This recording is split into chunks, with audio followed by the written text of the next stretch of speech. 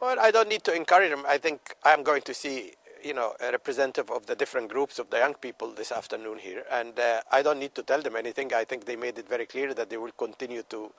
Uh, they will continue to demonstrate. They will continue to, you know, they've started something which never happened in Egypt before. It's, uh, you know, the first revolution, if you like, the first, you know, for for democracy.